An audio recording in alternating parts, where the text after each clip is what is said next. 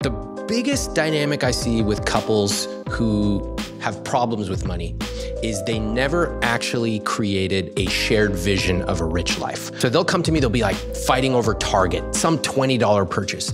And they're really fighting like it's a huge deal in their marriage. And I look at their numbers because I see all their income, everything, and I put it on screen. And you're just like, this couple makes like $300,000 a year, or they're in debt, whatever. And the real problem is we have two different views of how money should be spent, and we never sat down and actually talked about our vision together.